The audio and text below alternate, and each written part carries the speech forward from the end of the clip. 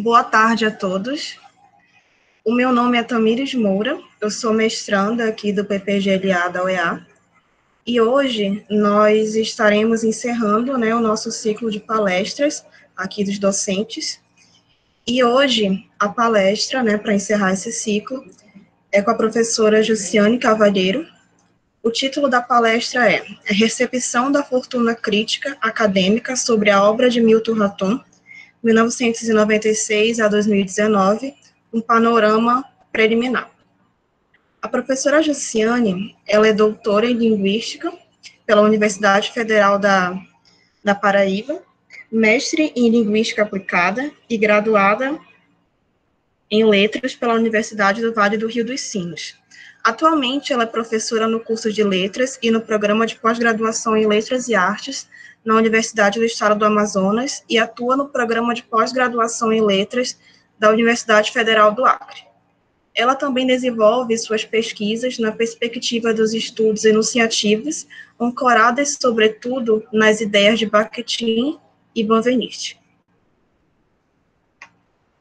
A presente palestra é fruto de uma pesquisa realizada pela professora em seu pós-doutorado Memória, Alteridade e Recepção Crítica da obra de Milton Ratum. Para esta palestra em específico, a professora apresentará o percurso da pesquisa que desenvolve acerca da recepção da obra e da fortuna crítica de Milton Ratum. Então, os pontos que serão apresentados nessa palestra. A introdução geral de sua obra, linha temporal de trabalhos defendidos, como dissertações e teses, distribuição das obras segundo as variantes ano e instituição, exposição de autores e obras postos em diálogo com Milton Raton e sua obra, e, por fim, a exposição de alguns pesquisadores, considerando a relação pesquisador-orientador. Agora, eu passo a palavra para a professora Jussiane, Desejo a ela uma boa palestra e uma boa palestra para todos.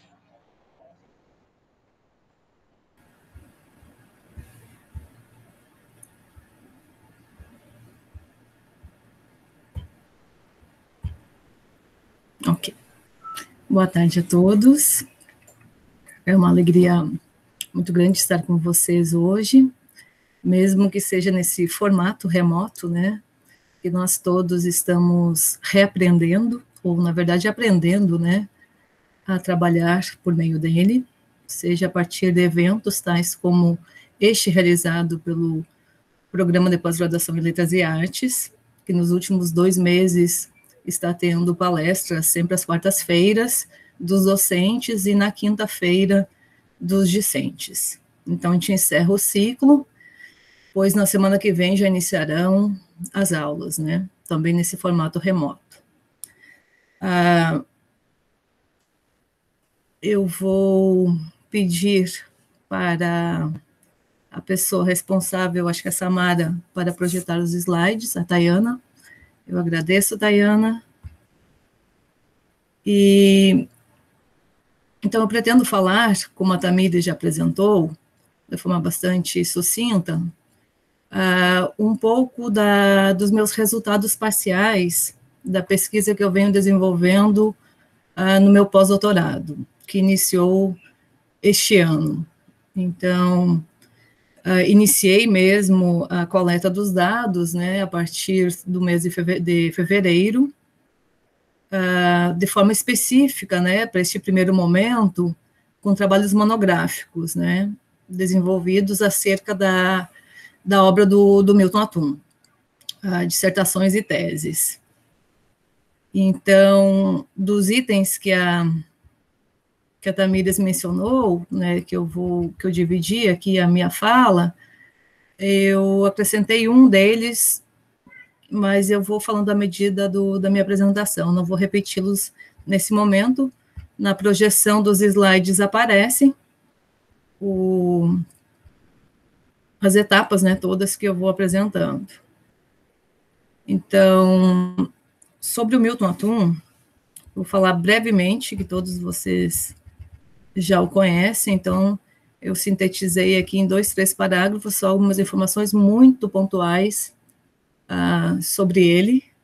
Eu estou escrevendo um verbete uh, sobre Milton Atum, então lá eu tenho detalhes bem mais precisos, né, acerca uh, da trajetória dele enquanto pessoa, né, enquanto intelectual, sobretudo enquanto intelectual, que é isso que nos interessa, de forma mais pontual. Então, aos 15 anos, como vocês podem ver nessa imagem uh, da foto dele, ele vai para Brasília, então, é em março de 68. Ele, então, com 15 anos, ele faz 16 anos só em agosto, né?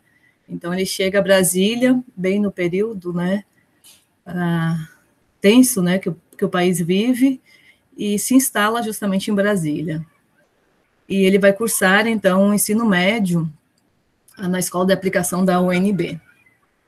Na década de 70, ele se muda para São Paulo para estudar arquitetura e urbanismo na USP, e durante esse curso ele assiste né, a diversas aulas, não só da área específica, né, que ele, ele se forma em arquitetura, mas a diversas aulas de literatura, na Faculdade de Letras, né? Como ele conta em algumas entrevistas, ele só atravessava a rua para assistir os cursos, né, dos grandes críticos, né, professores, intelectuais da época.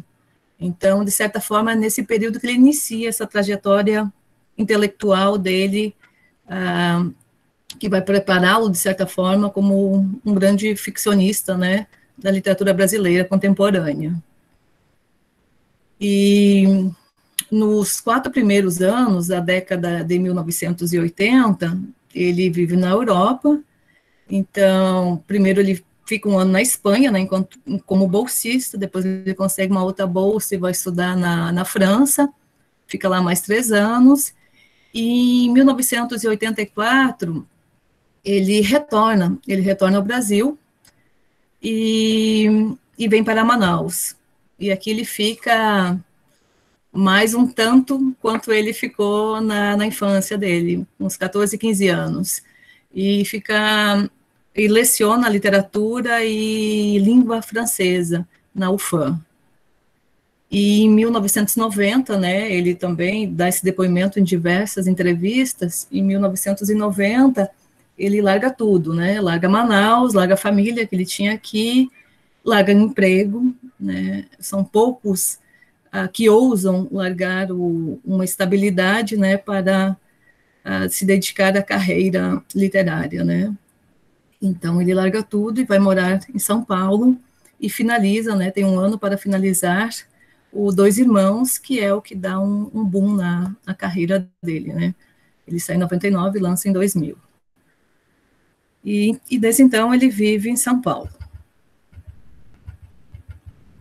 O Daí no próximo slides eu, eu trago, então, uh, o, o Milton, né, com, com essas obras todas que ele, que ele possui, essa trajetória dele, já são, se a gente considerar a partir de 89, que é o, o, o relato de certo Oriente, então a gente tem 31 anos, né, de uma carreira, de uma carreira bastante promissora.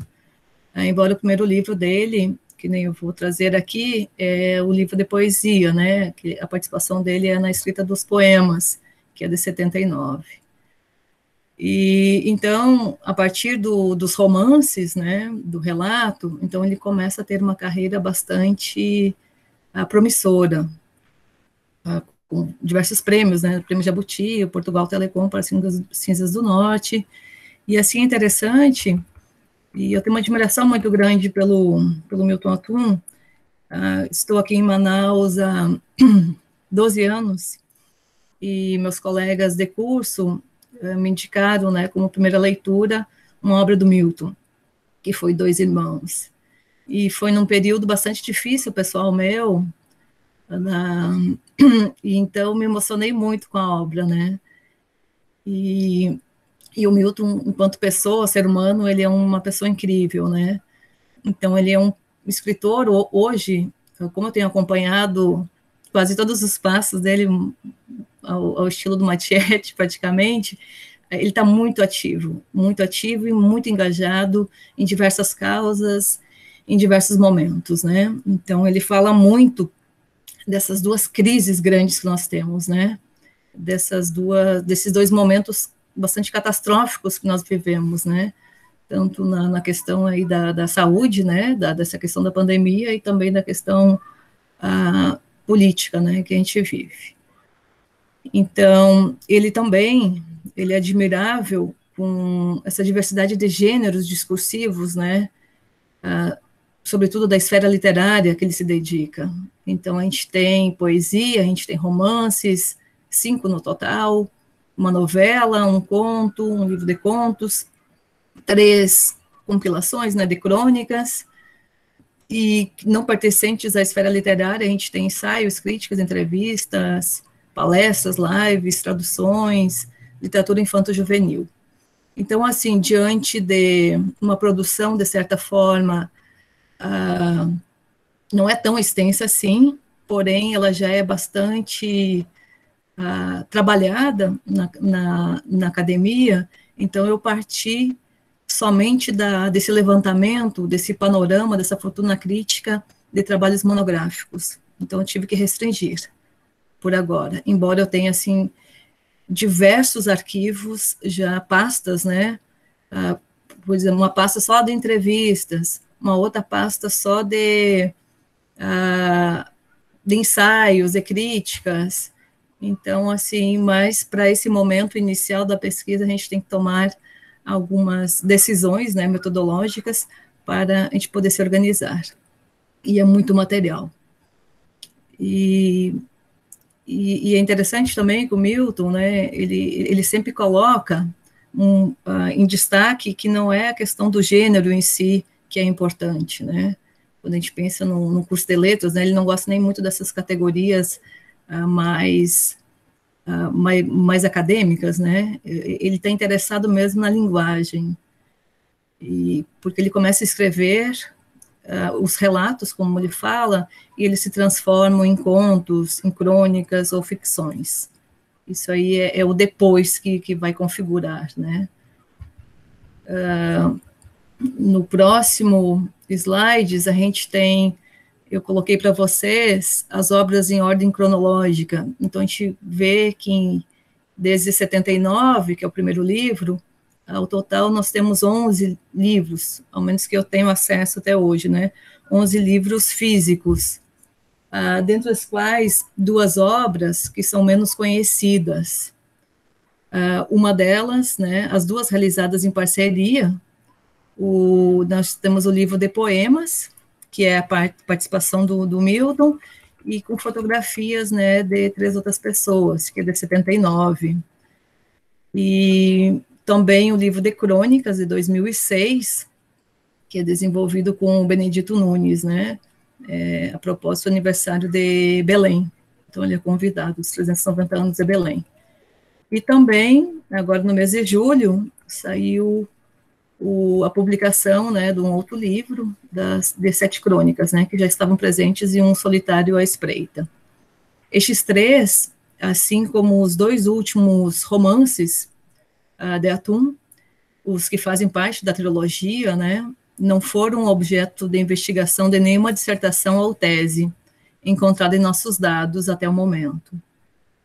Uh, teses não teria como, né, porque o, tem um que é lançado em 2017 e outro lançado em 2019. Então, não teria tempo hábil, né, para a defesa. E, e por uma questão de maior precisão, então nós optamos em delimitar a nossa bus busca dos nossos dados, desse catálogo que nós vamos, que eu pretendo fazer, a, a partir do momento da primeira dissertação ou tese encontrada, que foi de 1996, por isso no título tem Panorama 1996 até 2019. Porque a minha pesquisa ela vai até o final deste ano, no máximo nos primeiros meses do ano que vem. Mas não é assim de forma imediata que a gente tem acesso né, aos trabalhos. mesmo essas teses defendidas em 2019, ou dissertações, muitas ainda não estão na plataforma Sucupira. Ah, eu pedi três até para os próprios autores, né, os pesquisadores que gentilmente me mandaram por e-mail. Que aí eles têm lançado, né, a defesa, porém ainda não consta a versão definitiva. E então aqui a gente tem listado as 11 obras, né, em ordem cronológica, que são as obras impressas. No, no próximo slide, eu vou fazer de forma bem sucinta, eu espero, né, uh, um panorama geral desses, dessas, dessas 11 obras impressas. Uh, em 79, então, é pouco conhecido este livro, né, esse livro de poesia, e sobre este livro, o Milton, em entrevista, ele confessa eu praticamente fui derrotado pela poesia. Ele faz menção ao livro, né? Talvez haja um poema legível. Contudo, isso aí agora são palavras minhas, né? O, o lirismo está, de certa forma, presente em alguns textos de prosa escritos posteriormente, como o próprio Milton afirma agora em 2019, numa entrevista. Ah, pensei no primeiro romance como uma prosa que se aproximasse da poesia, a narrativa ficcional movida até certo ponto pelo lirismo. Então, eu mitiguei um pouco esse desejo de ser poeta, com a prosa mais ou menos poética com o relato de um certo Oriente. Com o relato, publicado dez anos depois do livro de poesia, ele inicia, então, essa carreira bastante promissora, né? Neste romance de estreia, ele dedica uma atenção mais centrada ao núcleo familiar, sobretudo um ambiente onde se centram as primeiras memórias, a casa da infância. Ou como sintetiza a Rigucci Júnior, trata-se de um relato de uma volta à casa já desfeita. E a partir da reconstrução desse espaço, dessa ação, esquecido e presente no tempo, que a narradora arquiteta o romance. A memória, desde a narrativa que consagrou o escritor, é um dos temas centrais da sua ficção. Como tudo na literatura, pondera Atum, a memória tem relação com o tempo, na medida em que ela pode ser usada como um vetor da imaginação. Todavia, trata-se muitas vezes de uma memória esquecida, fundamental para abrir caminho para a invenção. Por isso que o Milton sempre fala nas suas entrevistas da, da necessidade desse tempo para a escrita e também dessa distância com os fatos que aconteceram, porque ele não está interessado com aquilo que aconteceu. Ele trabalha com, sempre com coisas que, que, que, de certa forma, ele vivenciou, escutou ou leu, mas na ficção deve ser o caminho da invenção que, que, de, que deve prevalecer. Atum, dono de um tempo todo seu para a escrita da sua literatura, publica, 11 anos depois do relato, o seu segundo romance, Dois Irmãos. Uh, cito uma passagem aqui da tese do Aaron Gamal, em que ele diz sobre Dois Irmãos, que o Dois Irmãos é lançado com ingredientes de best-seller. Revela também a trajetória de filhos imigrantes libaneses, um vinculado à racionalidade meticulosa daqueles que aportam e precisam vencer, uh, outro seduzido pelas intempéries emocionais advindas da vida brasileira. São, portanto, ao longo de 20 anos, da, desde a publicação de Dois Irmãos, mais de 200 mil exemplares vendidos. Uma, uma interessante discussão sobre essa questão encontra-se na dissertação Literatura como Vocação, Escritores Brasileiros Contemporâneos no Pós-Redemocratização, de Marcelo Giovanni Mocai Estela, realizada na USP, no programa de pós-graduação em Sociologia e defendida em 2018. Nela, Estela traz como exemplo expressivo de como a profissionalização da literatura e de seus produtos se apresenta no campo literário. A trajetória de Milton Atum e do jogo de tensões e disputas em torno da construção enquanto autor do polo erudito, mas que deve cada vez mais adotar estratégias de consagração do polo de grande circulação. Dois Irmãos ambientado em Manaus na década de 1950 e projetando-se os anos 60 e 70, também tem a casa desfeita como centro da ação. Síntese da epígrafe escolhida por Atum. A casa foi vendida com todas as lembranças, todos os móveis, todos os pesadelos, todos os pecados cometidos ou em vias de cometer. A casa foi vendida com seu bater de portas, o seu vento encanado, sua vista do mundo, seus imponderáveis. Em relato, a casa ela delimita o espaço central da narrativa. Já em Dois Irmãos, além de um espaço de lembranças privativas trazidas pelo narrador, há evidenciado, desde a epígrafe do poema de Drummond, a dissolução desse espaço e de sua memória, quando esta não mais pertence à família. Em Cinzas do Norte, terceiro bem-sucedido romance, no lugar dos imigrantes libaneses, a figura do imigrante português fica ao fundo, no parentesco paterno de mundo. Temos, ao contrário dos dois primeiros romances, não um deslocamento de imigrantes, mas, como bem observa Noemi Vieira, uma outra autora de uma tese, um movimento migratório do interior para a capital, do bairro periférico para o centro de Manaus e deste para a Vila Amazônica, centro de produção e exploração da juta, fornecedora da riqueza da família Matoso, representativa da burguesia que concentra o poder pelo enriquecimento através da exploração extrativista. Em 2006, promovido pela Secretaria de Cultura de Manaus, da, do Estado do Pará, desculpa, publica, junto com Benedito Nunes, Crônica de Duas Cidades, Belém e Manaus, em comemoração aos 390 anos da cidade de Belém. Na parte composta por Atum, fala de uma Manaus cuja mudança significativa ocorreu a partir da implantação da Zona Franca, em 1967, portanto, um ano antes da primeira saída de, de Milton Atum de Manaus.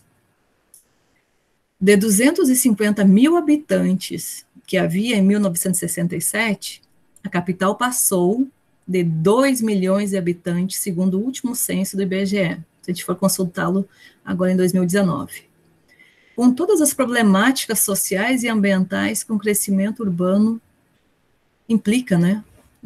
Com um crescimento urbano nessa proporção implica. Órfãos do Adorado, a quarta obra de Milton Atum, foi encomendada por uma editora escocesa para integrar a coleção The Myths, uma série composta por 16 narrativas de escritores em nacionalidades diversas. Além da, da edição pela Companhia das Letras, a novela foi publicada em 15 países. Órfãos do Eldorado, segundo o, o Milton, no pós-fácil da obra, ele afirma que é uma história de amor, com viés dramático, como ocorre quando quase sempre na literatura e às vezes na vida. Essa história evoca também um mito amazônico, o da cidade encantada. No próximo slide, então, a gente vai ter as as outras obras do autor.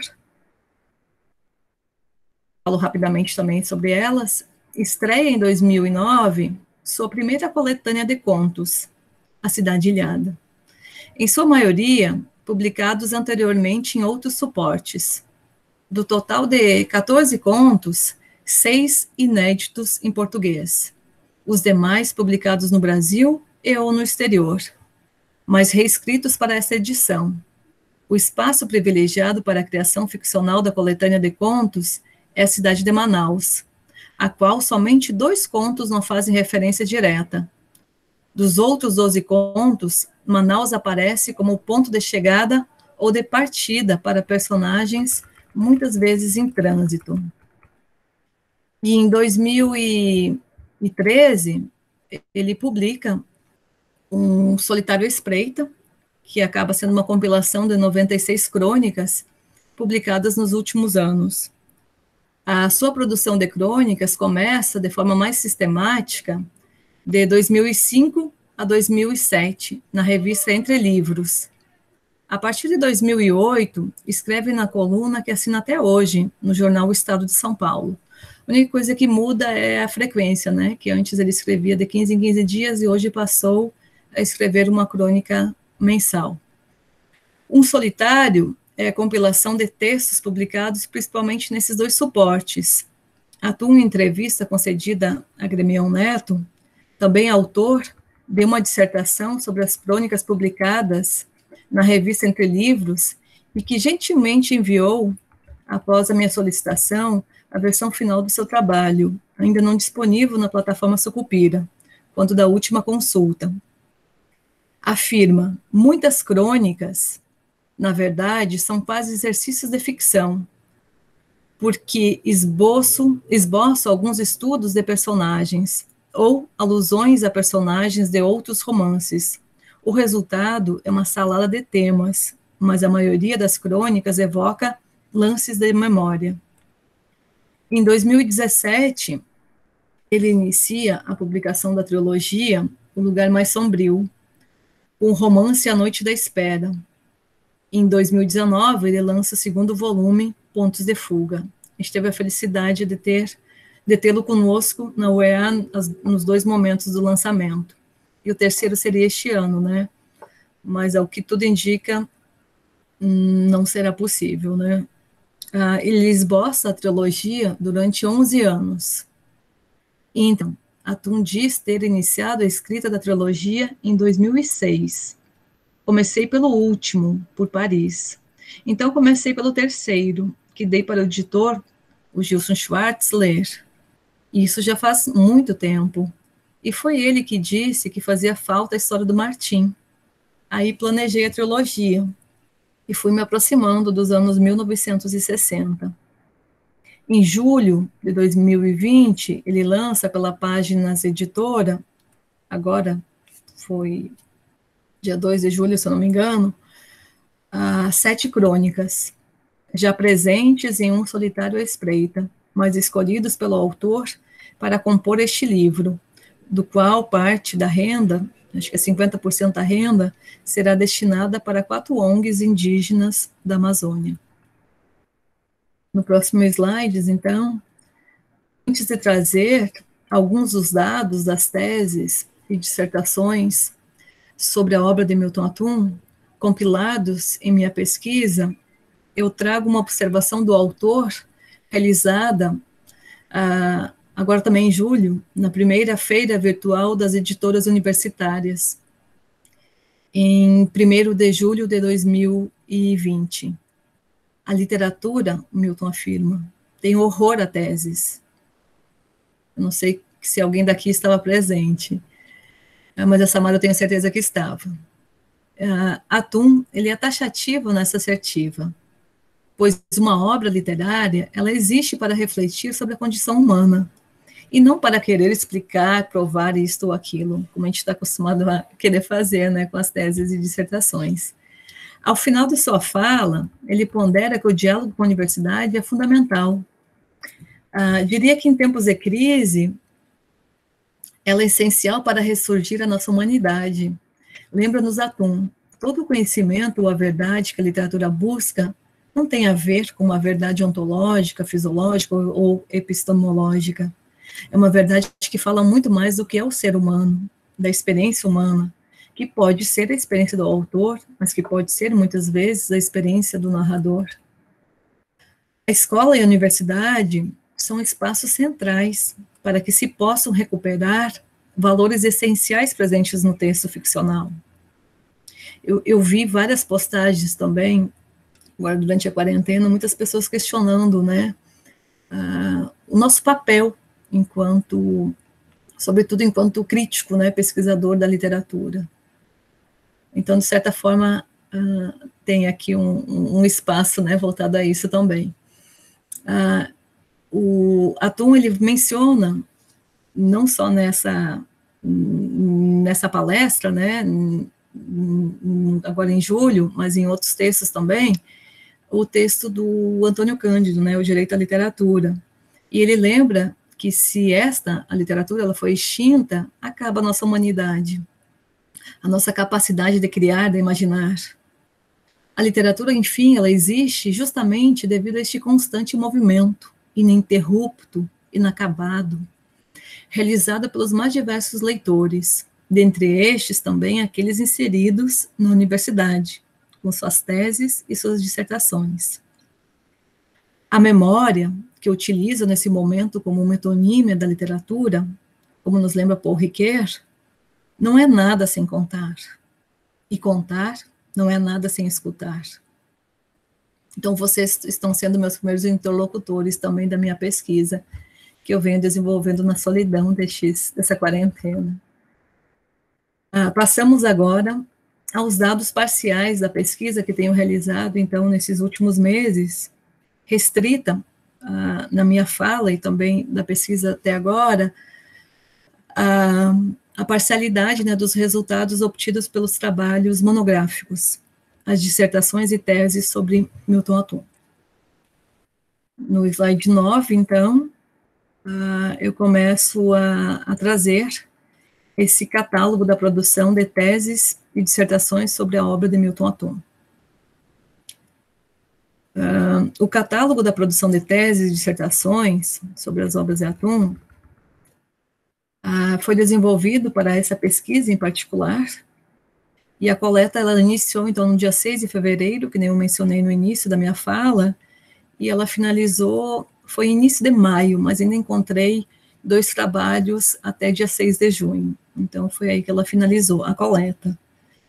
E ela tem por objetivo armazenar, ordenar e possibilitar o acesso às teses e dissertações produzidas sobre um dos escritores contemporâneos brasileiros mais lidos e estudados nos dias atuais.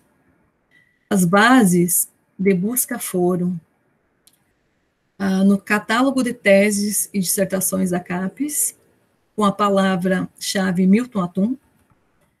Então, foram totalizadas 157 entradas para teses e dissertações. Se você colocar Milton Atum sem aspas, vai dar 9 mil e poucos. Então, não, não condiz com, com as obras em específico do autor. Então, são 157. Uh, no Google acadêmico, entrada também, sempre entre aspas, é Milton Atum. Somente nós buscamos por agora as teses e dissertações, então tem muito artigo, muito trabalho realizado sobre, mas para poder fechar algum raciocínio, né, uh, mais preciso, então, por agora, foi só o trabalho das teses e dissertações. Também no CNPq, na entrada Milton Atum, na Biblioteca Digital de Teses e Dissertações, no repositório de todas as instituições em que foram encontradas nas buscas de AD no mínimo um trabalho acadêmico. Então, a gente entrou em todas. Ah, o PPGLA está de parabéns, porque está bem fácil a localização. Você digita, repositório PPGLA ou repositório UEA e coloca Milton Atum, aparecem as três dissertações que a gente tem sobre o autor uh, também nas referências das teses e dissertações encontradas, que será um novo catálogo que eu reunirei com toda a produção uh, só citada nas referências das teses e dissertações.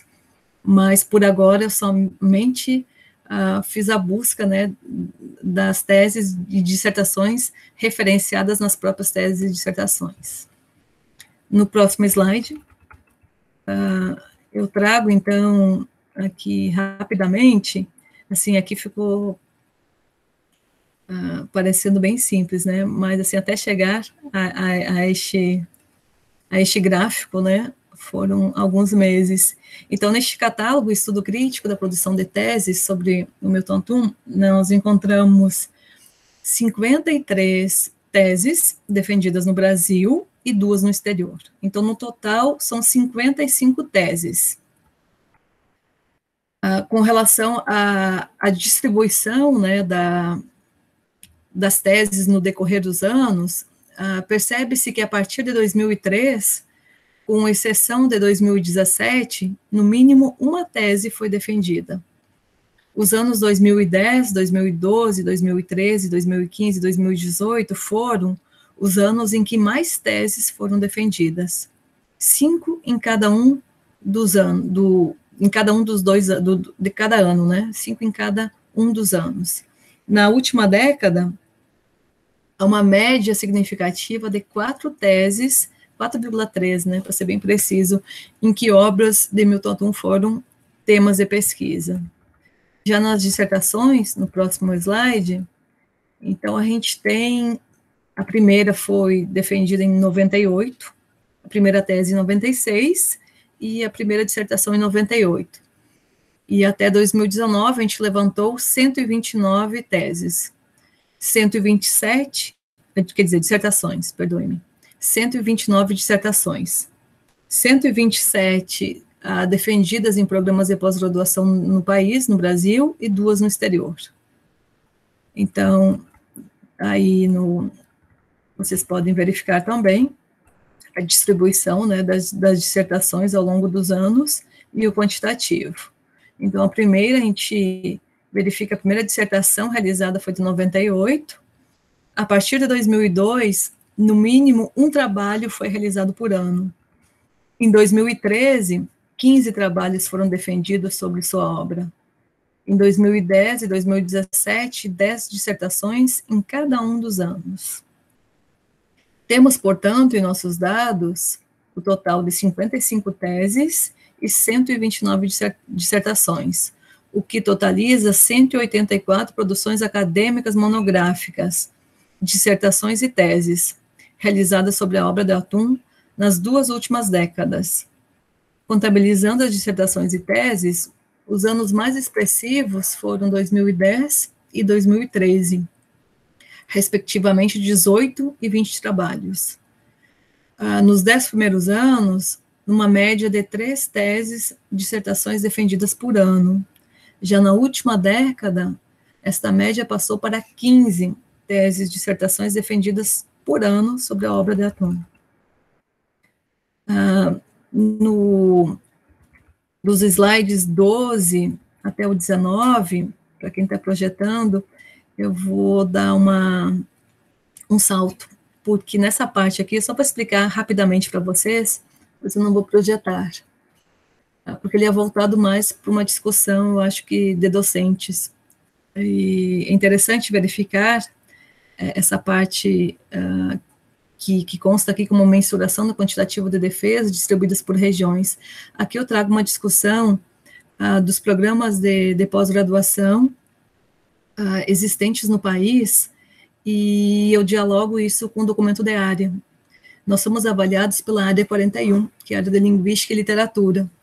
Então, eu trago esse documento de área, verifico né, a existência de quantos programas por região e também quantas teses e dissertações são defendidas ah, por Milton em, na região, né? Então, ah, pode só passando o, os slides, né, que eu tenho a distribuição aqui por programas, por área, tanto das teses, a gente verifica uma certa harmonia, né, uma distribuição harmônica com relação às teses e dissertações por, por áreas, né. A gente verifica que a área 41, ela realizou um excelente trabalho, sobretudo quando da, a, do coordenador de área, quando o Demerval estava na coordenação de área.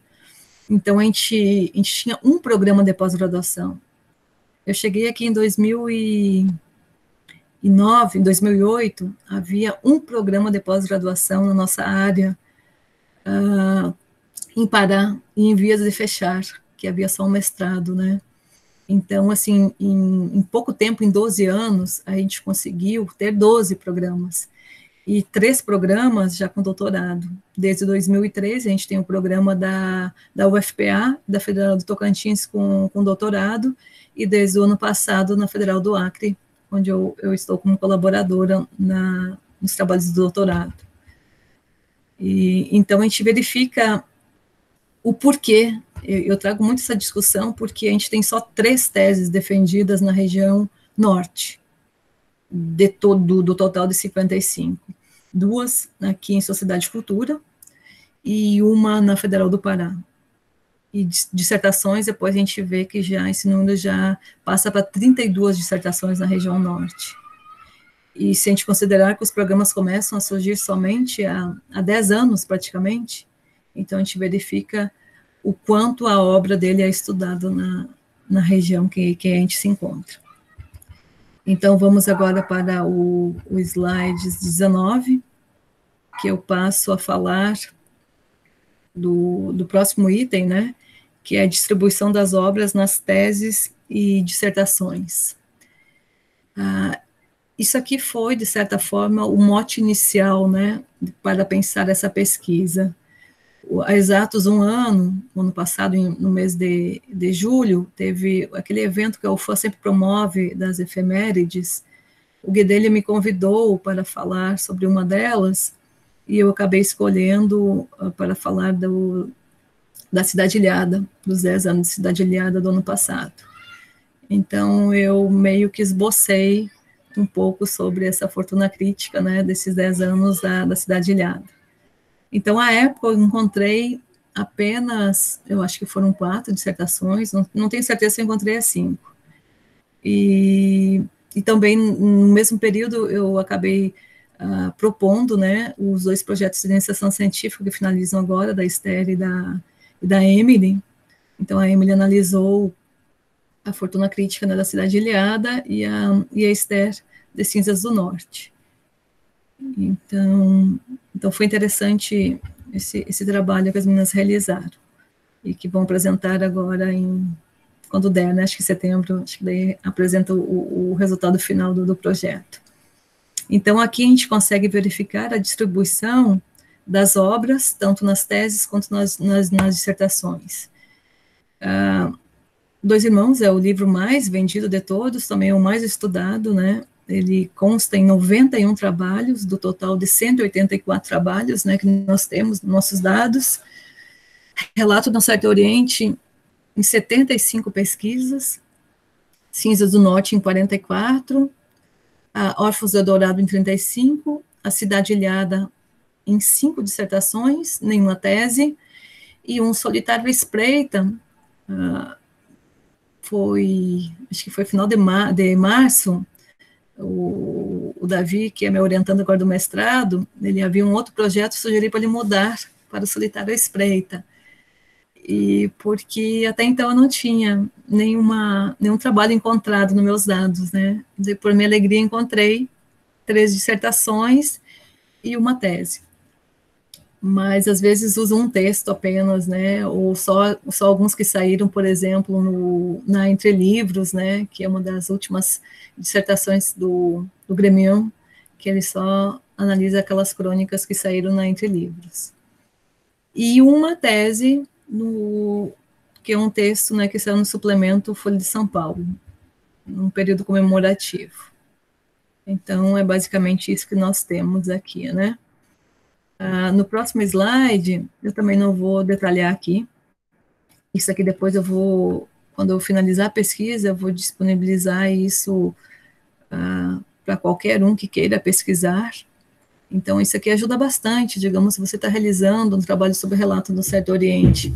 Então, vai ter aqui um catálogo de todos os trabalhos já realizados sobre o, desde o primeiro, né, que foi de 96, até os últimos trabalhos. Aqui eu tenho catalogado a instituição, o, o ano né, da defesa e se é uma tese ou uma dissertação. E também, em outro gráfico, eu tenho o título da obra e o, e o autor.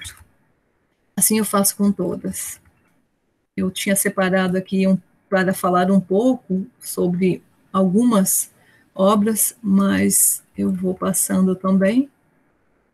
Uh, a primeira tese que a gente tem, né, do, só vou citar aqui o Luiz Alberto Brandão, ela é antes da plataforma Sucupira, então, só pelo título, que é Nação, Ficção, Comunidades Imaginadas na Literatura Contemporânea, eu não tinha certeza absoluta, né, se tinha alguma informação sobre o Milton.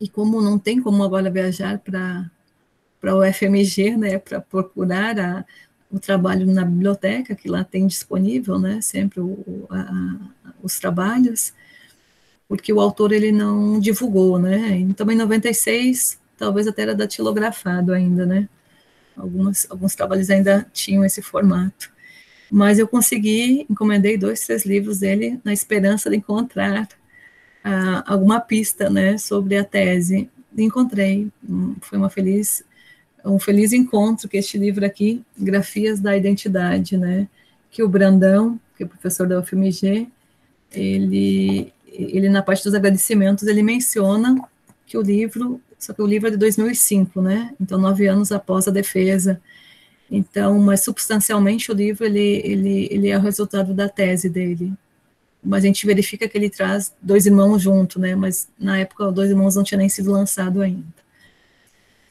Ah, e a primeira dissertação, que é específica sobre uma obra do Milton, é a primeira dissertação dos nossos dados, que é a dissertação da Ana Cláudia Silva Fidelis, que foi realizada na Unicamp em 1998.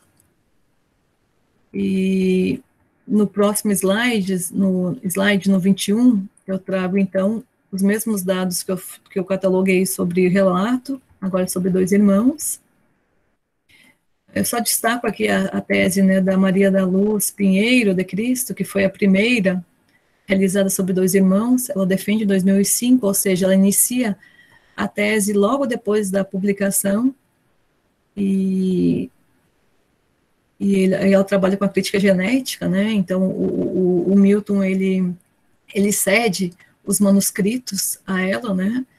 Tanto do, do relato Certo Oriente e sobretudo, né, um destaque maior é do, do Dois Irmãos, né, as 16 famosas versões, né, de Dois Irmãos, porque até hoje ele tem o hábito de, de, de digitar ou escrever à mão, depois ele digita, o, exceto com as crônicas, né, publicadas mensalmente, que ele já passa a fazer direto no computador. No mais, ele acaba escrevendo tudo à mão, depois passa para o computador e aí vai vendo as versões. Então, e ele guarda todo esse material. Então, com certeza serão pesquisas muito interessantes que poderão surgir a partir deste material todo que ele tem. A exemplo, né, dessa tese, né, a primeira sobre dois irmãos, realizada pela Maria da Luz Pinheiro de Cristo. Encontrei ela em uma, uma das lives, né, do Milton, e eu fiquei sabendo que ela mora hoje no, no Paraná ela tem uma obra também que é bastante importante né, para a fortuna crítica do, do, Milton, que é a Arquitetura da Memória, que é de 2007. Uh, no próximo slide, então, eu trago também os dados dos Cinzas do Norte, por ano, por instituições, né, os trabalhos todos discriminados aqui, na sequência, Órfãos do Dourado, no slide 24, a Cidade Ilhada, que só temos as dissertações, né, os locais.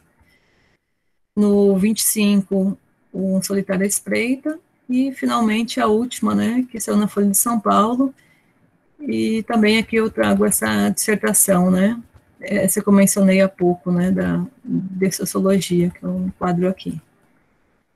Ah, no slide 26, então, eu acabei pensando da seguinte forma, né, esse conjunto das teses e dissertações.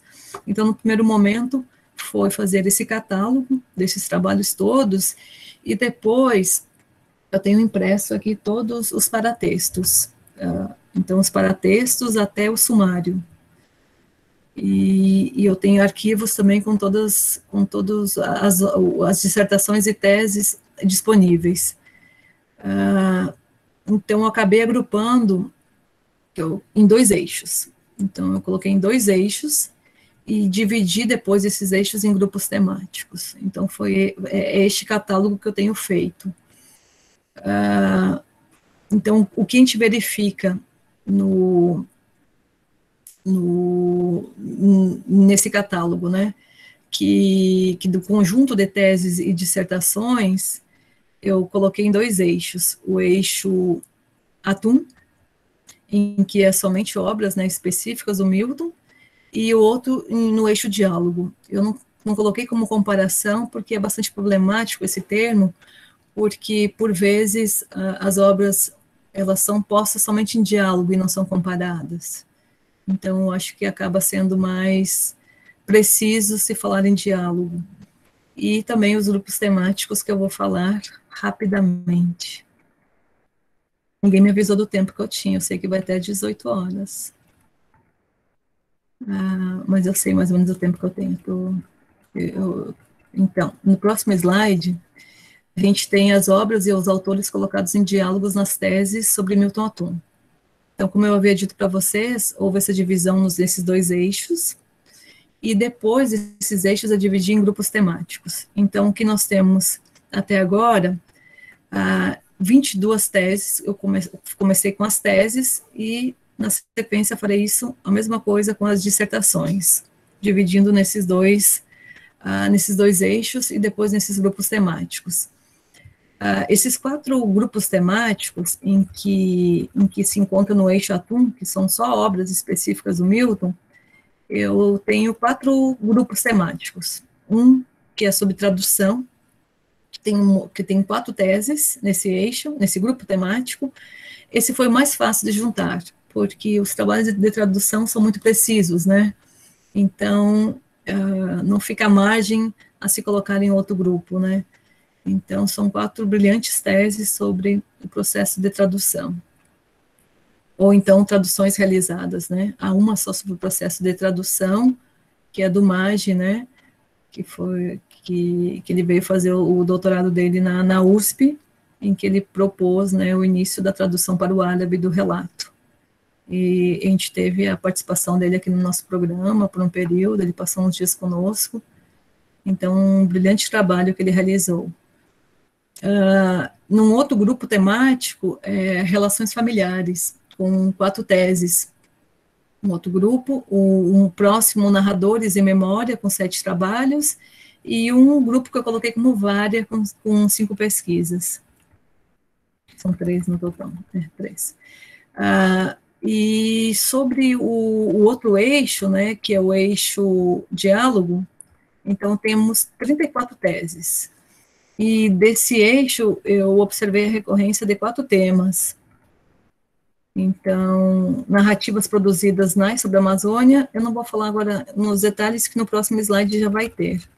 Então, era isso que eu pensei em trazer de forma mais detalhada para vocês, uh, somente dentro desse eixo uh, diálogo, né, das obras colocadas.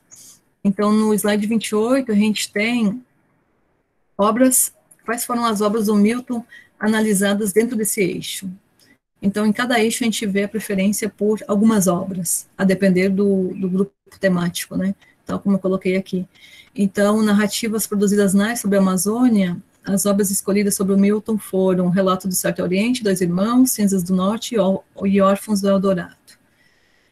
No próximo slide, a gente tem, então, esse conjunto das oito teses agrupadas no grupo temático, narrativas produzidas na e sobre a Amazônia. Então, a gente verifica aqui o, as oito teses, com os autores, o título, e quais são as obras colocadas em diálogo. Ah, listei aqui os autores, e nos próximos slides, ah, que a Tayana só vai passar rapidamente, o slide 30, 37, vai só projetando, por favor, a gente verifica em cada uma das teses, eu, eu, eu pesquisei né, as imagens tanto dos autores quanto, quanto do, dos livros né, colocados em diálogo em cada uma des, desses grupos temáticos. Então, a gente tem diversos autores, diversas obras, e de modo aleatório, aqui só para fazer um breve comentário, eu escolhi a, a tese da Natasha Farias Guedes, que é a última né, defendida sobre uh, pertencente a esse grupo temático, em que eu já tenho, das teses, já tenho realizado todo esse, essa síntese, né, só que, claro que não teria como trazer toda ela. Então, ela investiga a partir de duas narrativas, que é a Terra de Icambiaba, do Agbar Bastos, e coloca em diálogo o relato do Certo Oriente, do Milton, memórias de deslocamentos e grupos marginalizados, atrelados a um discurso de formação da Amazônia, a partir do ciclo da borracha, bem como a emancipação amazônica no final da década de 1980. Ela conclui que as duas as duas narrativas, elas buscam cartografar as marcas do deslocamento a partir da reconstrução desses espaços, em um processo polifônico multicultural, ultrapassando as fronteiras da narrativa, com vozes nativas ou estrangeiras que se complementam, cuja prática narrativa é uma estética do vestígio, uma poética do reencontro.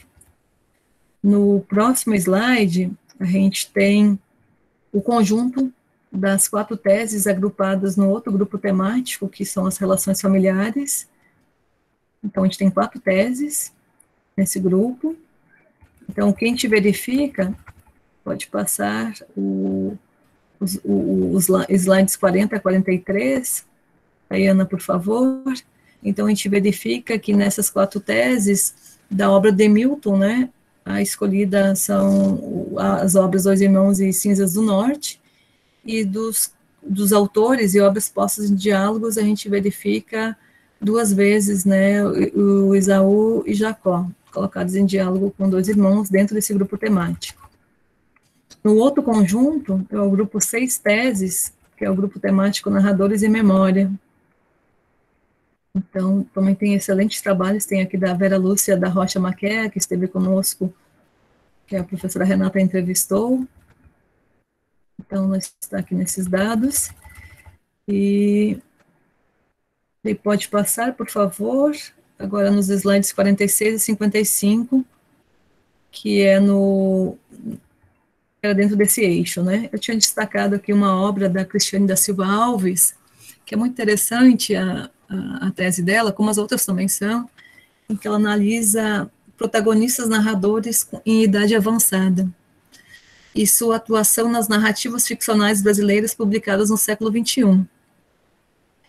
Ah, ela elege Heranças, do Silvano Santiago, Leite Derramado, do Chico Buarque, do Dourado, do Milton, O Arroz e Palma, de Francisco Azevedo, Milamor, de Lívia Garcia Roça. Ao estabelecer as principais diferenças e aproximações, Alves, em sua tese, defendida na URGS, observa a decadência e, em alguma medida, a dependência que estão presentes nas cinco narrativas. Observa ainda que a solidão é constante em quatro dos cinco romances. No próximo slide, no 56, eu agrupo o, oito teses, que também é um tema bastante frequente no, na, no catálogo das teses de dissertações, que é do tema imigrantes, estrangeiros, exílio e mobilidades culturais. Então, aqui a gente tem agrupados oito teses, eu listo também os autores, os títulos e quem são os autores postos em diálogo. Então, da mesma forma, a gente verifica no slide 57 quais são as obras postas do Milton em diálogo nesse grupo temático, são restritas aos dois primeiros romances, e, e, os autores postos em diálogo a gente verifica nos slides 58 a 68. Eu tinha separado aqui um trabalho, mas acho que eu vou avançando um pouco. É interessante esse que eu selecionei, que é da Fernanda Miller, que o, o autor que é posto mais em diálogo no, na, nas teses é o, o Radwan Nassar, e, e aqui a, a, Fernanda Miller, ela, ela coloca ele em diálogo, mas numa perspectiva um pouco diferente, né? Ela fala da questão do, do, do exílio também, mas não nesse viés mais de ditadura militar, né, como a gente está habituado quando a gente fala em exílio. Então, o que ela verifica é que se exila aqui, de certa forma, a linguagem, e não o exílio como a gente está habituado, né. No slide 69, uh, no último grupo temático do catálogo das teses colocadas no eixo diálogo, eu nomeei como propostas e reconfigurações contemporâneas da literatura. Claro que tem outras teses, né, que estão em outros grupos que poderiam entrar neste também, e da mesma forma que ao, que estão postos nesse poderiam entrar em outro, né, mas a gente faz escolhas, né, e, e às vezes, e, e, essas escolhas têm, têm uma razão, né, elas têm uma, uma certa objetividade, mas tem um, uma marca muito forte da subjetividade também. Então, aqui a gente tem uh, essas seis teses, com reconfigurações, né? Então, também são trabalhos muito interessantes, realizados sobre o Milton. Então, no slide 70, a gente verifica uh, que obras são postas, né, nessas, em diálogo do Milton, nessas reconfigurações, Então, relato, dois irmãos, Cinza do Norte e um solitário à espreita. E nos próximos slides, do 71 a 83, eu coloco quais são os, os autores né, postos em diálogo e as obras também uh, nesse eixo, né, nesse grupo temático. Não vou falar sobre eles também. Então, o que a gente verifica no slide 84? Nesse conjunto das teses, estou quase finalizando. Nesse conjunto das teses, uh, até agora, algumas observações que eu cheguei. Então, Lavoura Arcaica, do Raduan Assar, é a obra colocada mais vezes em diálogo, um total de quatro teses. Esaú Jacó, Contos do Imigrante e Met Maria, vem na sequência, duas vezes cada uma das obras. Márcio Souza é colocado em diálogo em três teses. Alberto Rangel, Dalcídio Jurandir e Bernardo Carvalho são autores que figuram com obras distintas em duas teses cada um. Isso só sobre as teses por enquanto. As pesquisas sobre narrativas produzidas na e sobre a Amazônia são desenvolvidas sempre quando colocadas em diálogo com outros autores. No total, oito teses. O tema sobre imigrantes estrangeiros e mobilidades culturais também se faz presente apenas no eixo diálogo, totalizando oito trabalhos. Da mesma forma, as seis teses categorizadas em propostas e reconfigurações contemporâneas da literatura também são estudos exclusivos quando colocados em diálogo com outros autores. Portanto, são os três assuntos singulares e mais frequentes quando se trata de colocar as obras de Atum em diálogo com outras obras e autores. Já as teses que tratam sobre tradução e categorizadas na seção vária que totalizam sete trabalhos, foram aquelas agrupadas apenas no eixo Atum.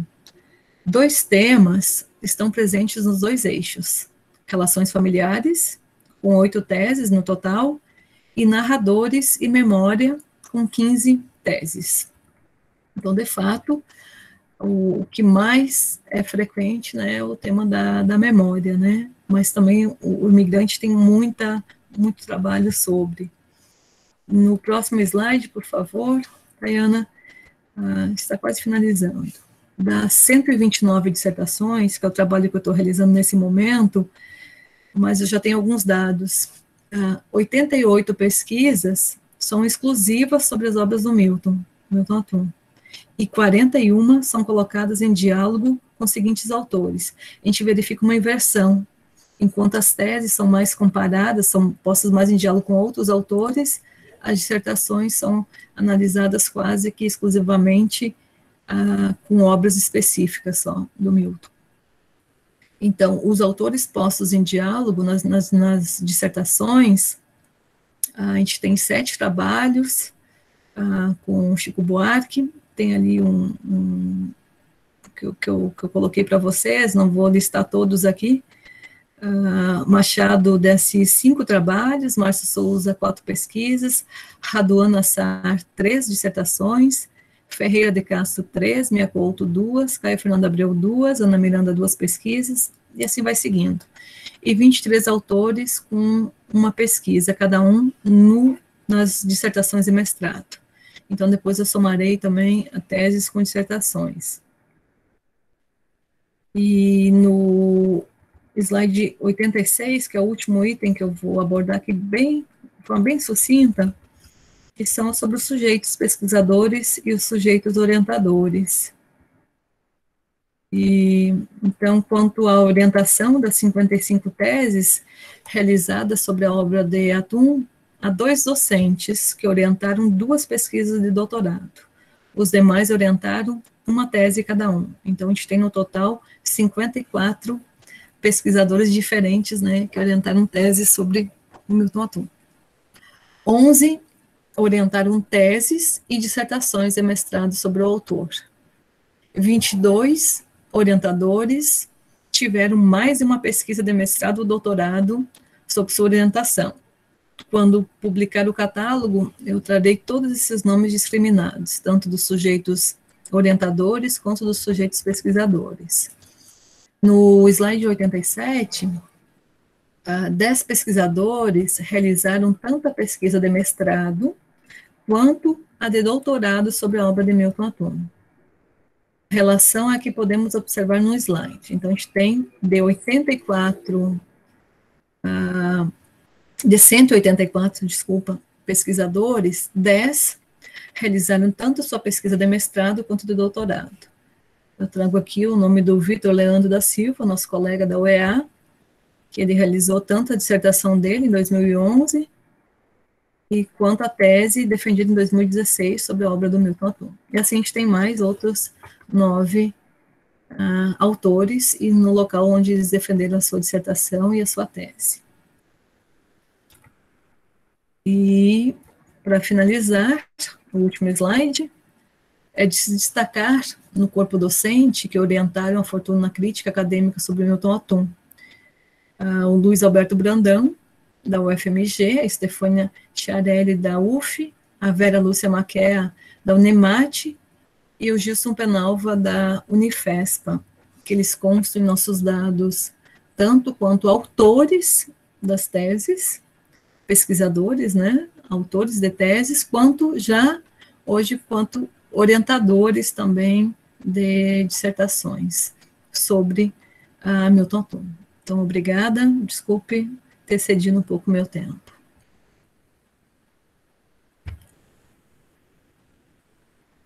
Parabéns, professora, pela sua palestra. Foi muito esclarecedora, muito enriquecedora também. E o seu trabalho é muito importante é um trabalho que vai ser de grande importância para pesquisas futuras, né, sobre o Milton Ratum. E agora o chat ele está aberto para perguntas, então quem quiser perguntar pode perguntar por aqui ou pelo áudio também.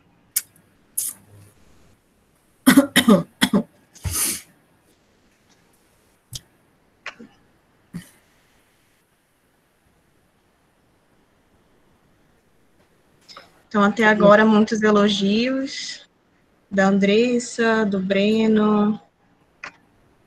Ele fala assim, foi um trabalho impecável, realmente, um trabalho impecável. Trabalho de formiguinha. A Vanessa. E o primeiro comentário aqui foi da Isa, Isa Reis, que ela menciona a mestranda Andrea Tavares, que ela também defendeu a tese ontem, de é, a dissertação de mestrado na Universidade Federal de Rondônia, que o título foi A Relação entre Ficção e História em A Noite da Espera, de Milton Ratum, uma estratégia composicional. Aí também tem vários elogios a, a essa pesquisadora. É, a Unir, a, a, Unir é muito interessante, Isa. A Unir tem sete trabalhos, sete dissertações, né? Como não tem ainda o doutorado, então só tem dissertações é a, segundo, a segunda instituição que mais tem uh, defesas né, da região norte. A primeira são 12 na UFAM e 7 na UNIR. Então, tem bastante gente interessada no Milton. E numa das lives que eu assisti também do Milton, havia muita gente da UNIR. Acho que a gente até se encontrou, não foi, Isa? Acho que a gente se encontrou numa delas. Ah, então fica ótimo, né? Então, deve ser a primeira dissertação sobre a, a, a obra na, da trilogia. Oi, Jussiane, tá me ouvindo? Estou Isa. Ai, quero te parabenizar pela Obrigada. palestra, foi maravilhosa, sabe? E são informações preciosas, né, para os pesquisadores que se debruçam, né, sobre a, a, as narrativas de Milton. Eu tô, acho que é a Fan, não sei se ela já saiu daí, ela também está investigando é, Milton Ratum, e ela também é do MEL, do mestrado em, em Estudos Literários da UNIR.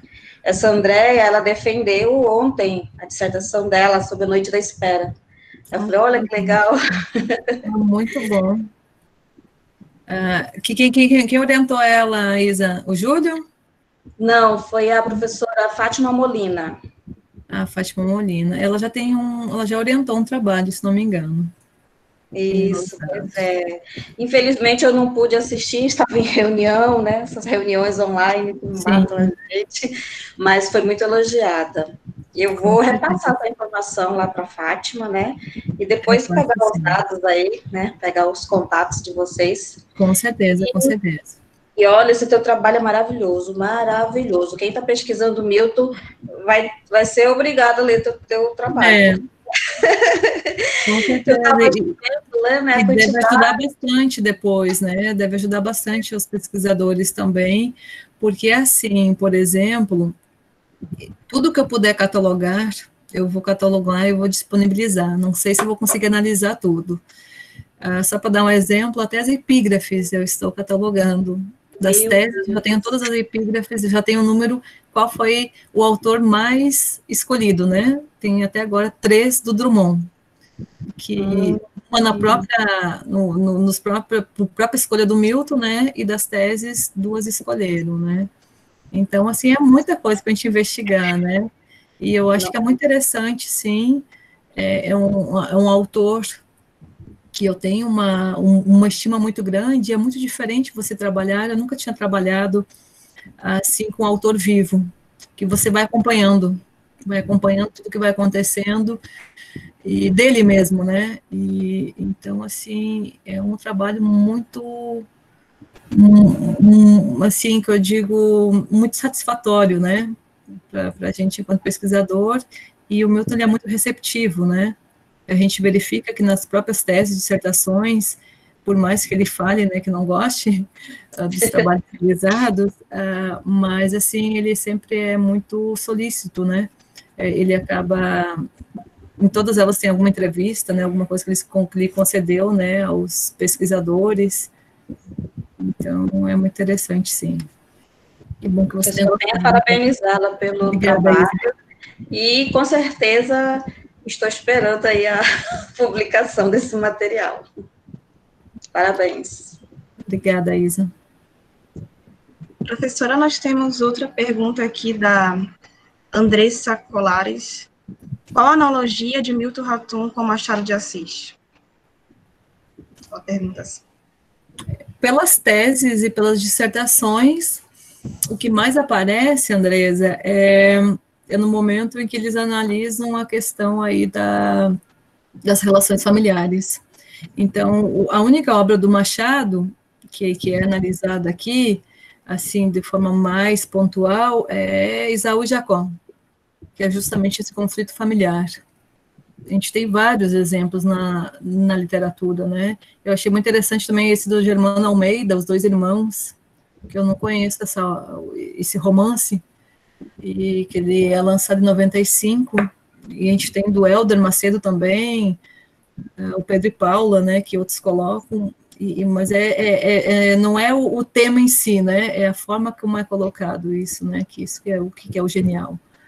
E tem uma outra, não sei se é uma dissertação uma tese, em que eu acho que é na parte do uma tese que é feita sobre os os árabes e nós. Eu acho que esse é o título. Não estou lembrando o nome do pesquisador, em que ele vai trazer assim uma tese brilhante, brilhante. Ele, ele, ele realiza a dissertação dele também sobre isso, acho que na UFPB que ele que ele defende e ele vai trazer o percurso todo na dissertação só, mais com, com, com Jorge Amado, a presença né, do, do, dos árabes nos romances de Jorge Amado, e depois na tese ele vai trazer um percurso assim, uh, desde o do tempo do descobrimento, né, do, ou, ou, do achado, né, como preferem, até os dias atuais. Então, como é que o, o, o imigrante, nesse caso particular, né, o, o árabe, é tratado é visto né, no, nos romances.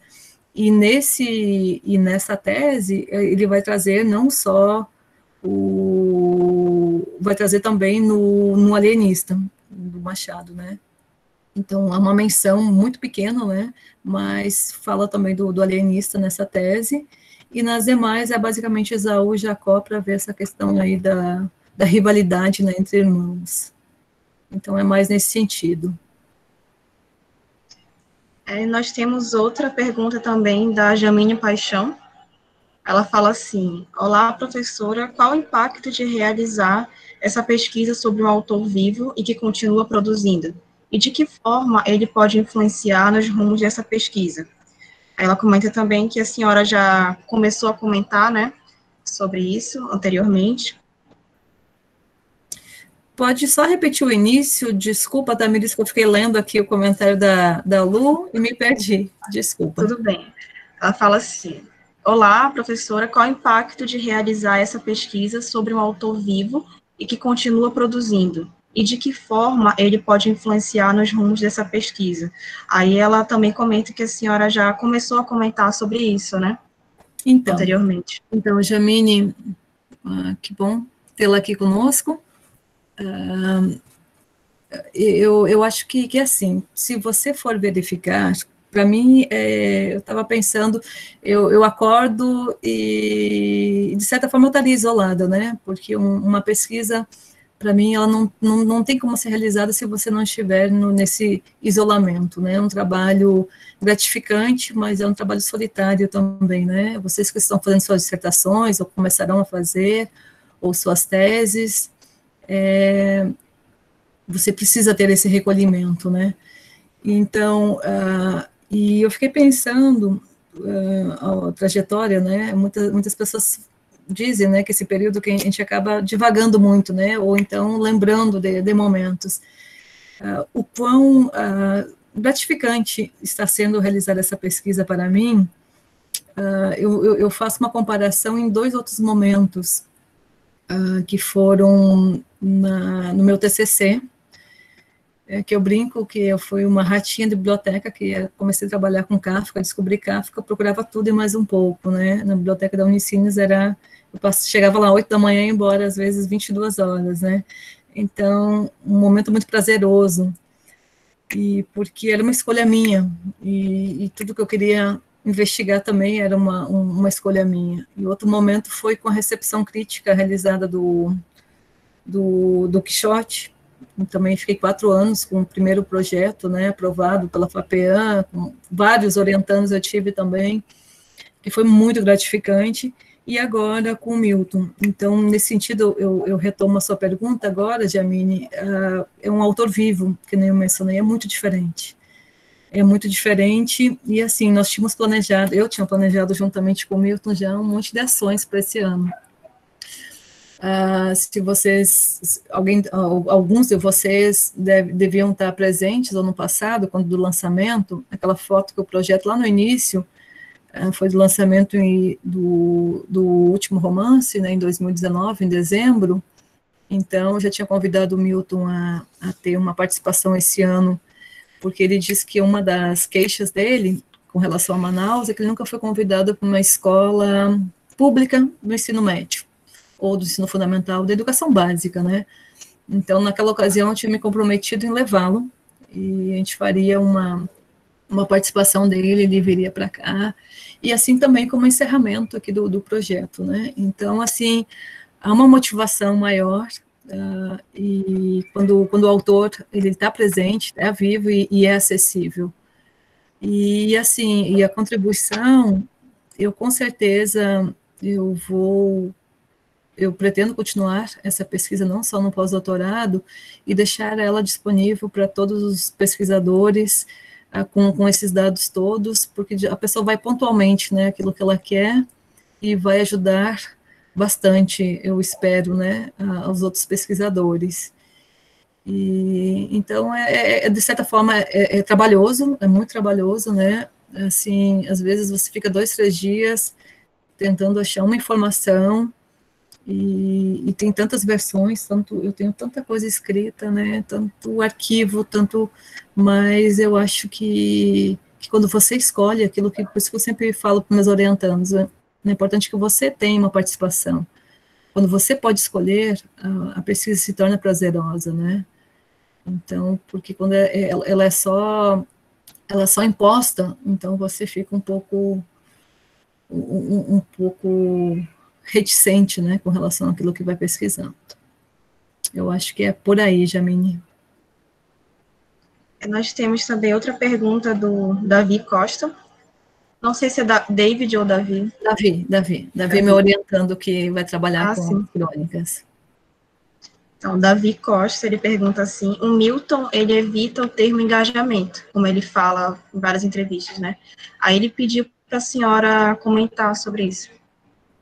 Então, o, o Davi, uh, que agora me orientando e vai trabalhar também com as crônicas do Milton, uh, fiquei muito feliz em vê-lo, Davi, em umas duas, três lives do Milton, né?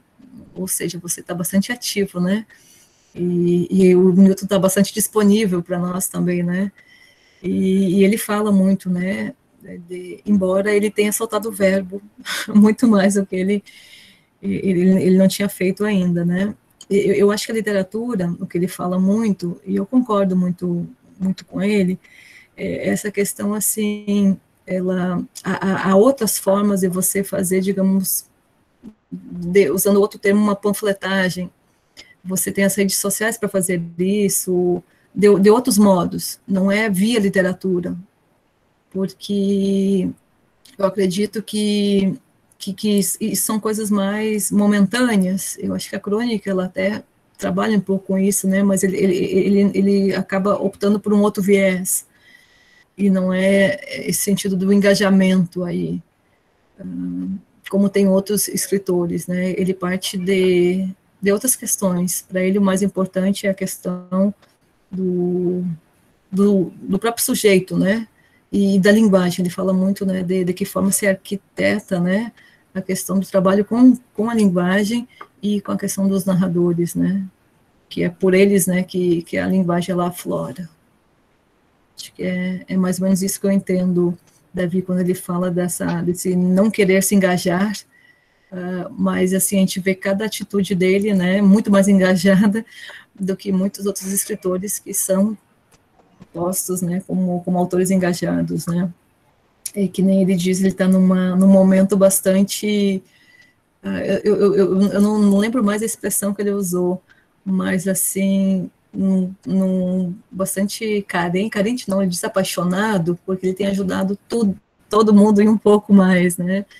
Uh, ele fala sempre daquela editora, né, próxima à casa dele, uh, que, uh, que as meninas vão lá na casa, ah, no prédio dele, ele autografa e manda os livros para o Brasil todo, e tem um, um percentual, né, para essa, essa editora dos livros dele, e agora com o lançamento, né, das Sete Crônicas também.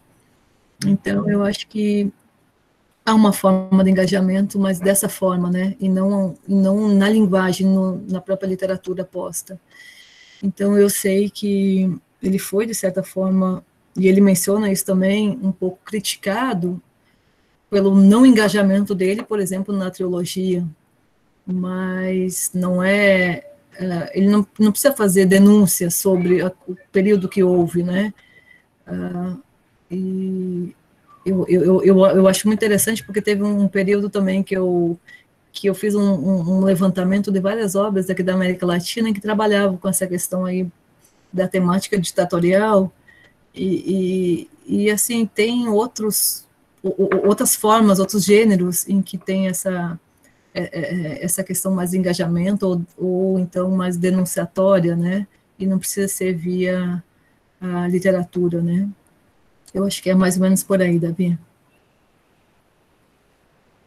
Nós temos também mais duas perguntas, uma da Isa Reis, novamente, e outra da Andressa. A Isa, ela pergunta assim, Jussiane, em relação à crítica genética, conheço as pesquisas da Cristo. Há outras teses e dissertações sobre essa temática? Nos dados do Milton não tem. São as únicas duas uh, até agora realizadas. E, e, o orientador dela é né, um dos grandes uh, da crítica genética que a gente tem no país, né, o Philip. Eu tenho, eu conheci o, o quando eu fazia o mestrado, mas pelo viés, porque ele é psicanalista, né? Então seria por esse viés que haviam sugerido para trabalhar uh, com essa abordagem no meu mestrado. Mas como era na psicanálise, eu não me aventurei. Mas assim, nos dados eu não, eu não conheço, não. Assim, não, não há uma abordagem específica sobre isso. É as únicas é a tese, a dissertação e a tese da a, da Maria da Luz Pinheiro. Eu vi que a Luciane comentou que ela esteve aqui conosco, eu não soube, não. Onde é que eu estava, Lu? Na quinta jornada científica do PPGLA. ela ministrou uma palestra e um mini curso. Que pena, não estava. Ou eu não soube. Enfim. Deve ter sido maravilhoso. Ah, desculpa, professora, por não ter lido não, o comentário da professora Luciane. Passou um pouco aqui. Aí, a pergunta da Andressa, ela pergunta uma pergunta bem interessante, na verdade. Ela fala assim que a realidade é que muitas escolas de ensino básico não trabalham a literatura amazonense. Aí ela pergunta assim: o que deve ser feito para mudar essa realidade no nosso estado? Eu discordo, Andresa. Eu acho que é trabalhado sim. Eu acompanhei as escolas, assim, eu sou professora de estágio no curso de letras, 12 anos já. Estou ficando velha, mais velha que já estou, né? Ah, e também participei nesses 12 anos de vários outros projetos, de tipo PIBID, coordenei o PIBID durante quatro anos, e depois mais um ano, um pouquinho da residência pedagógica, esse eu nem conto muito, porque foram só meses, né, foram quatro meses, eu acho, e, mas assim, pensando no, no, nos próprios projetos de estágio, e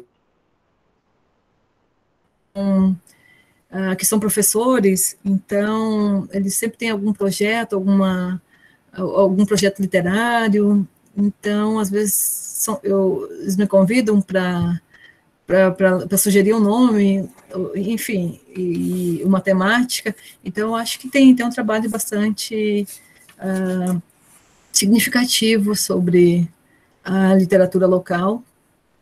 E e, e, nas próprias bibliotecas também. Assim, eu sempre falo que as bibliotecas uh, da rede básica, elas, elas, elas, são muito melhores do que as bibliotecas que a gente vê na UEA, por exemplo, ou na UFAM, também falta um acervo mais novo, assim, sobretudo sobre literatura, né? E, e por isso que, que o, mestrado nosso, assim, a gente tem o nosso acervo, que é algo mais precioso, né? Então, porque tem essa lacuna. Mas eu acho que tem, acho que tem trabalhos bastante uh, interessantes sobre projetos literários, projetos da, da, literatura brasileira e também de escritores uh, locais. Tem bastante, tem uma produção bastante interessante da literatura infanto-juvenil também, que foi a primeira dissertação que eu orientei no nosso programa da Lucila Bonino, que ela fez esse levantamento, né, da fortuna crítica, né, crítica e da produção mesmo, né, da literatura infanto-juvenil. Então, eles, é, ela continua falando também sobre, sobre isso, né, que ela trabalhou por dois anos em uma escola e na hora de indicar os livros não tinha nenhum sobre a literatura local. A Gil Praia também fala sobre isso, que no ensino básico dela, no interior, ela não teve contato com a literatura amazonense. A Alice também comenta sobre isso, que ela acredita que é algo mais recente, porque quando ela estudou no, é, no ensino médio, no ensino básico, ela também não teve essa, esse contato, né? E o Matheus também comenta, o Matheus de Oliveira, que ele fala assim, que no máximo ele ouviu falar de Milton Ratum apenas no, na minissérie dois irmãos. Eu acho que, se eu não me engano, é ele que fala também que ele só teve contato com é, as obras do Milton Ratum na graduação, a literatura do, do, Amazonas, é, foi ele mesmo, que ele fala que ele só foi ter contato com a literatura do Amazonas na, apenas na, na graduação.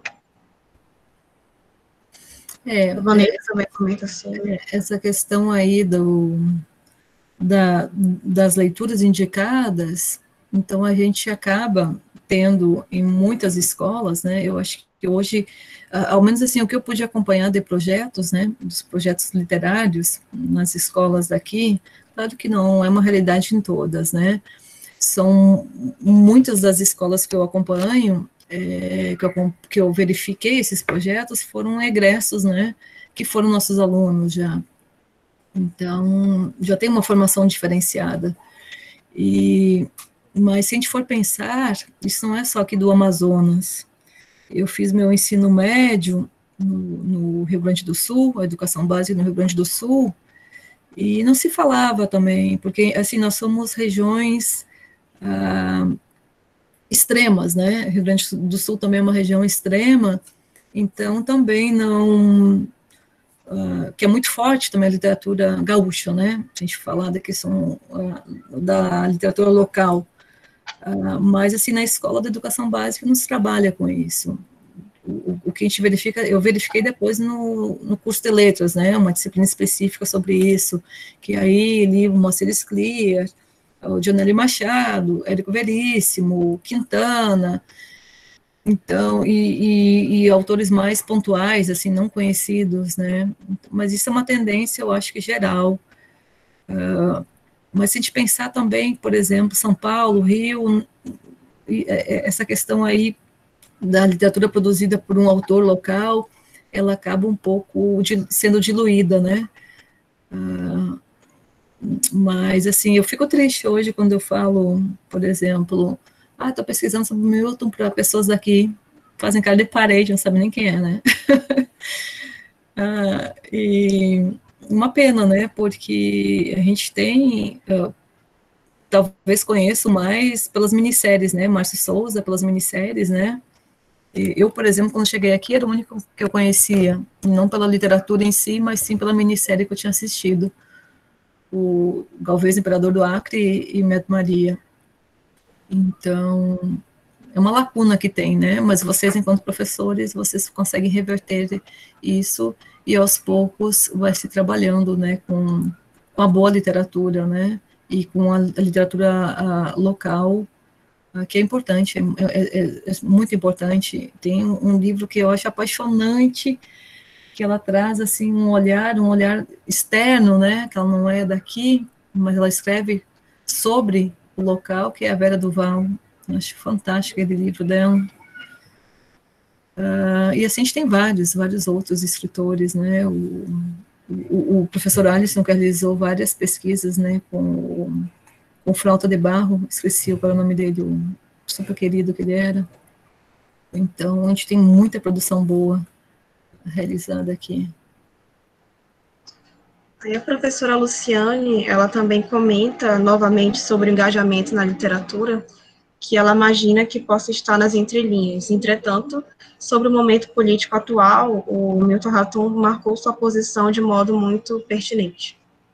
Justamente, ele, eu, eu acho que assim ele, ele tinha esse discurso bastante forte sobre essa questão aí do, do não engajamento, né? Só que agora ele diz o tempo todo, né, que não tem como se calar. Então ele tem uma posição muito forte, mas assim, a posição dele é muito forte é, em outros momentos que não a própria escrita, né? É, eu acho que é nesse sentido que ele fala de uma literatura não engajada diretamente com, com isso, né? Porque você consegue falar, às vezes, muito mais de engajamentos ah, estando meio que sublimes, né? Não, não totalmente como algo de uma denúncia mesmo, né? Ah, daquilo que vai acontecendo. E assim, agora é um momento bastante importante, né? Ah, nesse cenário político que a gente vive, né? Que, que, que não tem como manter uma, uma neutralidade, né? Então, e só que então nesse sentido Sim, Lu, é, é, totalmente de acordo. Ele, ele acaba marcando muito bem essa oposição dessa outra forma, mas não diretamente, né, uh, na escrita. E até as crônicas que eu tenho acompanhado também, as crônicas mensais que ele publica, assim, ele também não, não fala diretamente sobre isso, às vezes é um pesadelo que ele tem sobre alguma coisa, né, alguma, algum, algum acontecimento, então é, é de outra forma eu particularmente não me atrai tanto uh, alguns vieses né, dessa literatura mais engajada. Mas, assim, eu acho fenomenal, por exemplo, o, o livro que você vai analisar, Tamires, do, do Bolanho, Noturno do Chile, eu acho precioso. Eu achei ele, assim, ele fala muito mais do que qualquer outro livro, sabe, sobre aquele período de ditatorial do, do Chile. Então, eu acho que é um trabalho com a linguagem que faz com que o, o livro ele tenha um relevo, né? E da mesma forma, o, os livros da teologia do Milton, eu também, eu, eu, gostei, gostei muito do, justamente do primeiro. O segundo foi no momento que eu estava já um pouco cansada e foi durante a pandemia, né? Então, é diferente, né? Fica um pouco confuso, né? As leituras também. Aí, sobre o autor que a senhora tinha mencionado, Frota de Barro, né, a obra, é o Luiz Bacelar, comentaram aqui. Eu também havia esquecido. Isso, isso, isso. Uhum. Era o Frota de Barro, do, do Bacelar. Eu esqueci o nome dele. Obrigada. Sobre a obra que a senhora mencionou agora, Noturno do Chile, né, do Bolano, uhum. É um relato, assim, mais tímido, né, se for comparar com A Noite da Espera, um monólogo, né?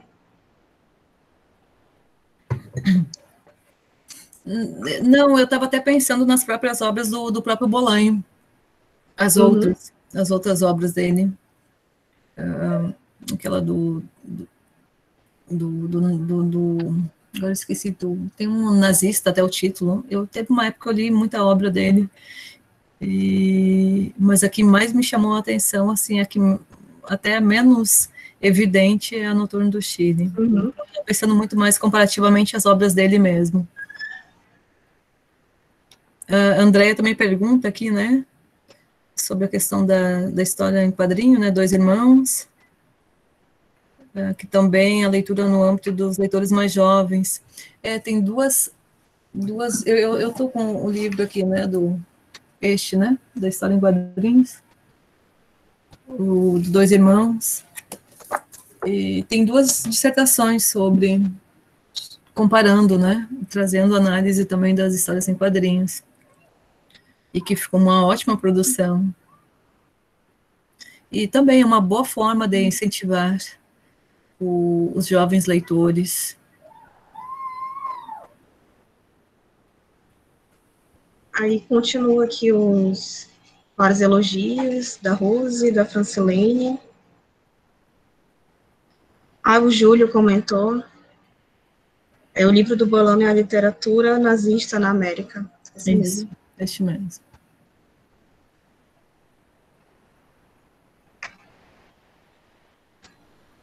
Eu acredito que não tenha mais perguntas. Então tá ótimo, adorei o momento aqui com vocês. Uh, desejo sucesso a todos vocês nas suas pesquisas. E espero que muito em breve né, a gente possa se ver pessoalmente, uh, porque esse formato aqui ele ajuda bastante, né? Uhum. Mas ao mesmo tempo ele, ele é diferente, né?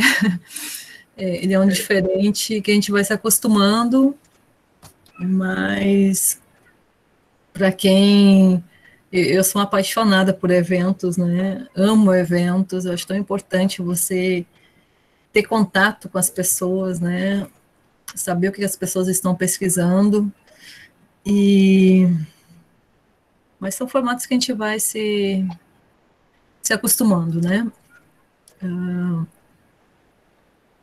então agradeço novamente a, a presença de todos que guardaram os momentos, né? Quase duas horas para poder acompanhar aqui o trabalho. E quando estiver disponível, e também se vocês tiverem acesso a algum trabalho, pode me mandando o, o, alguma referência, alguma coisa, eu agradeço para os dados. E depois, com certeza, será, esse catálogo será disponível para todos, muito provável pela UE Edições, em formato digital, acho que tem um respaldo maior. E, e agradeço mais uma vez, Lu, por a sua presença também. E eu acho que foi um ciclo bastante proveitoso. Eu sempre que eu podia assistir, foi maravilhoso as, a, as palestras dos nossos discentes e dos docentes também. Então, tenho só a agradecer. E desejo um, um ótimo final de tarde a todos vocês queria agradecer também a seu convite para a mediação e eu queria parabenizar a senhora novamente também pelo trabalho, porque só quem trabalha, né, com catalogação de dados, de pesquisa, sabe o quanto é, é cansativo, mas ao mesmo tempo é muito prazeroso, né? Muito gratificante, dá um orgulho muito grande, né? Quando você vê, vai vendo o resultado, porque foi você que encontrou, né? Você que pesquisou. Justamente. É bastante gratificante. Trabalhoso, mas é gratificante, né? Eu acho que é isso que, que nós, enquanto pesquisadores, a gente tem que persistir e a gente tem que mostrar também o, esse valor que nós temos, né? independente da pesquisa que a gente vem realizando, não no sentido pragmático da coisa, que eu, eu tenho pânico disso, né? Para que, que vai servir isso? Então, se você está analisando uma obra com um olhar diferente, já serve para alguma coisa, porque é um olhar diferente, né? E que nem eu falei logo no início, né? A literatura e as artes, a gente trabalha com isso, né? Essa questão ininterrupta, né? Este novo olhar a cada um desses novos leitores, né, desses novos críticos que a gente vai tendo. Um beijo no coração de cada um de vocês. Espero que em breve a gente possa se encontrar presencialmente e agradeço mais uma vez. Obrigada, Ju. Obrigada, comissão organizadora dos eventos. Eu quero deixar aqui meu profundo agradecimento à comissão organizadora, a todos que apoiaram, a todos e todas, né, ao público que, que está nos assistindo, nos acompanhando, agradecer por essa palestra luxuosa da Jussiane e dizer que a gente está encerrando esse ciclo realmente é, por, por este momento, mas é, pretendemos ainda fazer alguns eventos pontuais uh, do PPGLA online e lembrando que ainda temos nessa semana as palestras do ciclo de palestras dos, dos mestrandos, dos discentes, e que se estende até a próxima semana. Então, mais uma vez, eu agradeço e desejo uma ótima tarde a todos vocês. Obrigada.